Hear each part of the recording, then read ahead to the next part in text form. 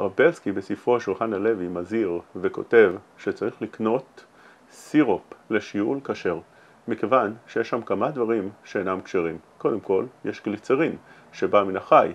אם הוא בא מן החי, הוא חייב להיות כשר, כיוון שהוא נותן טעם טוב באותו הסירופ ומשביח אותו. דבר כזה חייב להיות כשר, אפילו אם הסירופ עצמו, בפני עצמו, לא היה עם טעם טוב, מה שנקרא נותן טעם לפגם, אבל כיוון שהגליצרין הזה בא להתאים אותו, הדבר חייב להיות כשר. ונוסף על זה יש את האמרסיפייר שמחבר שני דברים שבדרך כלל לא מתחברים, וגם הוא בא מן החי ולכן הדבר חייב להיות כשר.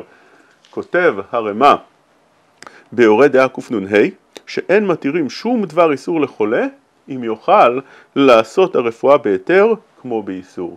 ואפילו, הוא מוסיף וכותב, שצריך לעשות קצת קודם שימצא ההיתר וצריך לשהות קצת, אף על פי כן הוא חייב לעשות את השהייה הזאת, את ההשתדלות הזאת, כדי לקנות דבר שהוא אמנם כשר.